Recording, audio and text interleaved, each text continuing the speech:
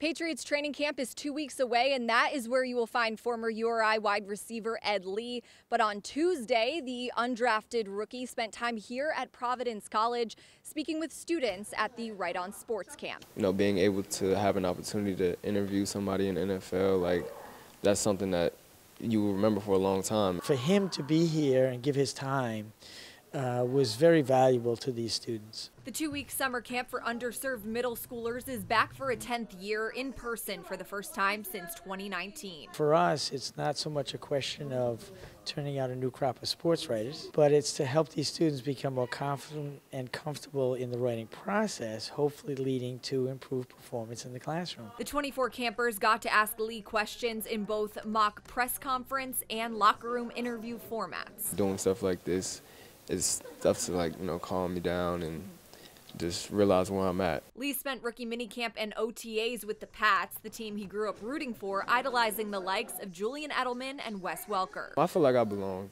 honestly. it is a lot faster, but um, it's something that I can get used to, and I know that I can be very good at this level. Lee will look to be the latest undrafted player under Bill Belichick to make the team, a streak that runs 19 straight years.